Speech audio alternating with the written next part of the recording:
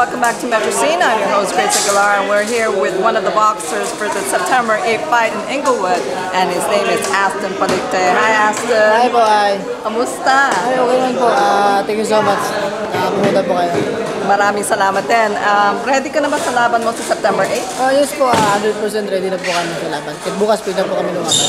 Okay, so gano'ng ka- katagal na nag-training for this fight? Ah, sa Manila pa lang, mga 2 months train na ako, then 1 month dito.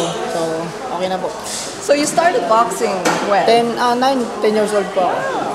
So taga saan ka sa atin? Ah, Bacolod City ba? Ah, Bago City po, Negros of Pilintan. At ah, naging national team din po ako, naging Philippine team. Tapos bago ako nag-pro ngayon. First time mo dito sa US? Ah, hindi po, um, pangatlong laban. Tatlong laban.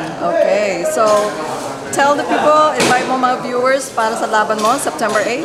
Ayun, ah, sa lahat po ng mga Pilipino, Pilipina na nandito po, ah, sana po supportahan nyo kami ngayong September 8, kami po ni Johnny. At uh, sama nyo po kami sa dasal nyo at sana po wala pong nangyari sa amin. At uh, maraming maraming salamat po.